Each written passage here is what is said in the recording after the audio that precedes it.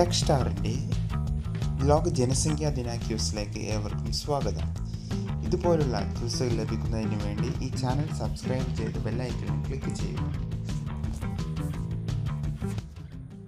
ഏത് വർഷം മുതലാണ് ലോക ജനസംഖ്യാ ദിനം ആചരിച്ചു വരുന്നത്? ആയിരത്തി തൊള്ളായിരത്തി എൺപത്തൊമ്പത് ജൂലൈ പതിനൊന്ന് മുതൽ.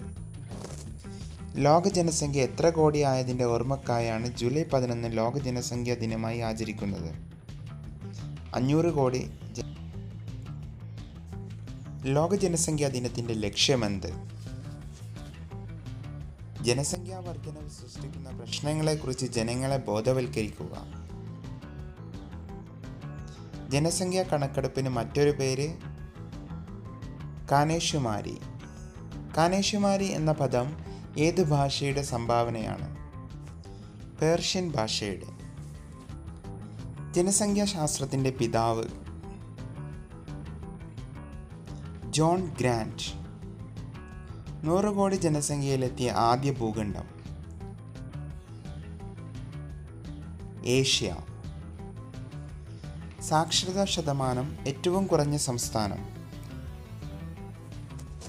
ബീഹാർ. കേരളത്തിൽ ഏറ്റവും ജനസാന്ദ്രതയുള്ള ജില്ല തിരുവനന്തപുരം ജില്ല. ജനസംഖ്യയിൽ ഒന്നാം സ്ഥാനത്ത് നിൽക്കുന്ന രാജ്യം ചൈന. ജനസംഖ്യയിൽ മൂന്നാം സ്ഥാനത്ത് നിൽക്കുന്ന രാജ്യം അമേരിക്ക. ഇന്ത്യയിൽ ഏറ്റവും കൂടുതൽ ജനസംഖ്യയുള്ള സംസ്ഥാനം ഉത്തർപ്രദേശ്. ലോക ജനസംഖ്യാ ദിനം എന്നാണ് ജൂലൈ പതിനൊന്നിന്. ജനസംഖ്യ ഏറ്റവും കുറവുള്ള സംസ്ഥാനം സിക്കിം. കേരളത്തിൽ ജനസംഖ്യ കൂടുതലുള്ള ജില്ല മലപ്പുറം. കേരളത്തിൽ ജനസംഖ്യ ഏറ്റവും കുറവുള്ള ജില്ല വയനാട്.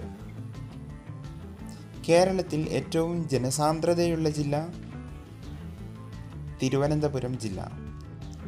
കേരളത്തിൽ കുറവ് ജനസാന്ദ്രതയുള്ള ജില്ല ഇടുക്കി.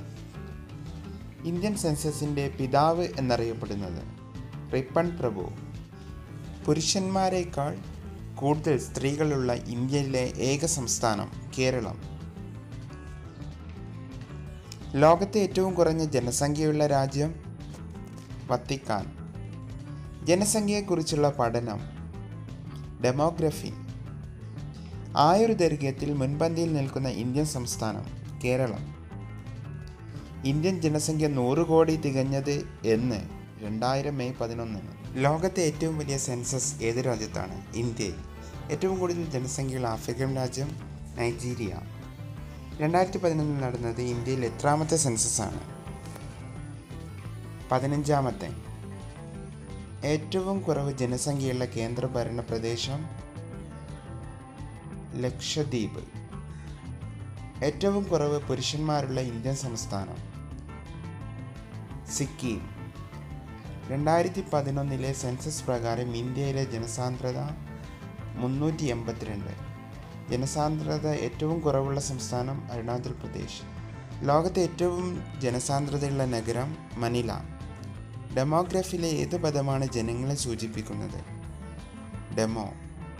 ഇന്ത്യയിൽ അവസാനം നടന്ന ജനസംഖ്യാ കണക്കെടുപ്പ് എപ്പോഴായിരുന്നു രണ്ടായിരത്തി പതിനൊന്നിൽ രണ്ടായിരത്തി പതിനൊന്നിൽ ഇന്ത്യയുടെ ജനസംഖ്യ എത്രയായിരുന്നു? നൂറ്റി ഇരുപത്തൊന്ന് കോടി.